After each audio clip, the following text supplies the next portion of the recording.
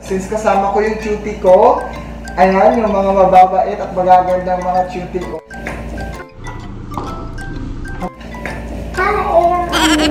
Uh, minabuti po namin magsuot kami na face shields. Face shields. Yan. Tapos, ang gagawin ni Andrea, mag-check Andrea, magpalakas si Andrea. Tapos, iinumin ito ni... Ni Ano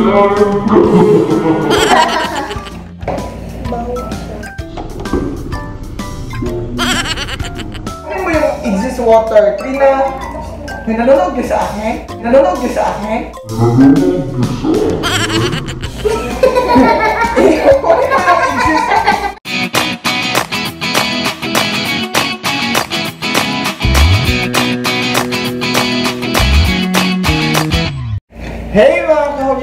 Is Megan Brian Cabeza sa BB Your Kahugya Ambassador and welcome back to my channel. Ayan, for today's vlog mga kahugya, first time ko pong gagawin dito sa channel ko na gagawa kami ng project. Since kasama ko yung cutie ko, ayan, yung mga mababait at magagandang mga cutie ko.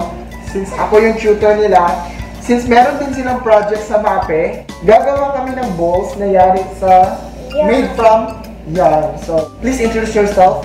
Sino yung makasama ko? How old are you, Rina? Well, 12. From? Saan ka nag-aaral? English School. O, para siya international school dito sa Tagum, di ba? Okay. Next!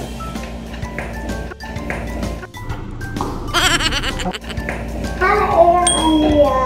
This is How old are you? I'm nine years old. Oh, di ba? Cute ni Andrea. 9 years old si Andrea. Saan ka nag-aaral, Andrea? Elementary Grade?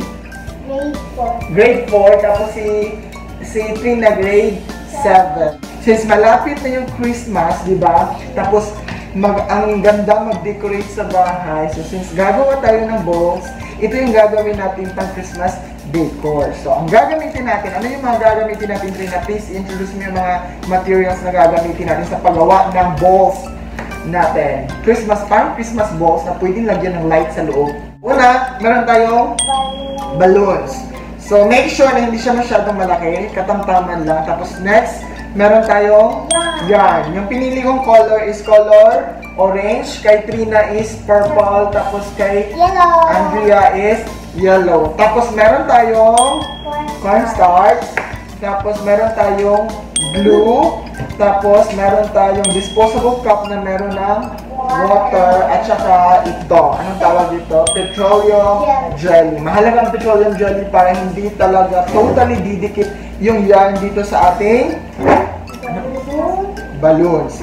Since project ito ni Trina, tinutulungan lang namin ni Andrea si Trina. Si Trina yung gagawa ng mixture. So si Trina yan. Sure. So si Trina yan. So, since mga bata yung kasama ko, so minabuti po namin magsuot kami na face shields. Face shields. Yan. Tapos, ang unang gagawin ni Trina, ilalagay niya yung cornstarch dito sa disposable cup na merong water. So, i-dissolve ni Trina, tutunawin ni Trina yung cornstarch sa water. Sige daw Trina, para makita naman ng mga teachers mo na ikaw talaga yung gumagawa ng projects mo. Ayan. Tapos, ang gagawin ni Andrea, mag-check si Andrea, magpalakas si Andrea. Sige. Dagdagan mo pa, ubusin mo na lang. Ayan, ubusin mo. Kailangan tunaw na tunaw yung cornstarch. Tapos, mga make sure na hindi po makalat ang inyong working table. Naglagay kami ng bond paper para yung mga furnitures natin sa bahay hindi masira. Ayan. So, na-dissolve na po ni Trina. Next na gagawin ni Trina, ako na lang mag-press kasi medyo matigas to. Si Trina yung mag, mag, mag-stir. Ah, ilalagay natin yung glue dun sa mixture natin sa water at saka cornstarch. So, bakit may glue? Mahalaga po ang glue dahil magdikit. Ayan. Si glue yung parang binder natin dito. Kailangan marami, si, marami yung glue ha.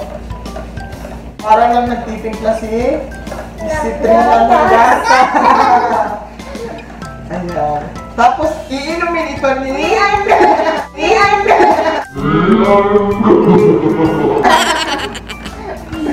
Joke lang. Ayan. So, First time na vlog. first time ni Andrea sa vlog. Think na battery na, hindi pa. Ubusin lang natin ito. Hindi. Ay, para. Para- Lapit na. Kailangan kasi tick back para didikit na didikit siya. Ito yung itsura. Kita mo sa camera din niya.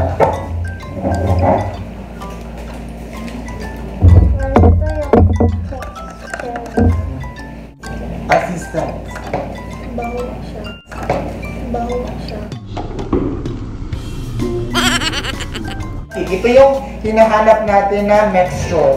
Ang galing ni Trina. Talapakan natin si Trina. Next is, kailangan natin ganyan. Oo. Oo. Isang ganyan mo, ayan. Tapos, ika-cut mo. Same sizes. Ginagawa natin to para hindi tayo mahirapan mamaya. So mga bata, mag-ingat sa paggamit ng Scissors. scissor, gunting. Sa mga nanonood dyan, make sure na maingat na maingat tayo. Akin na sa'yo, bro. Ganito kataas yung kay Trina.